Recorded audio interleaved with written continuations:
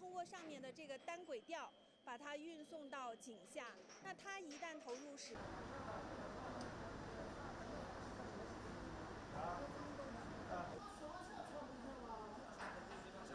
对井下的被困人员，如果说他的瓦斯、一氧硫化氢的气体，如果说有超标的可能性的话，会对井下被困人员造成它的气体情况。但是现在唯一一个好处是它的氧气，目前现在监测到的是百分之二十以上，但是水位还在不断的上升，现在是每三十分钟上升零点五公分，前期的是每半个小时上升的是三公分、三点五公分，较前期是有下降趋势的。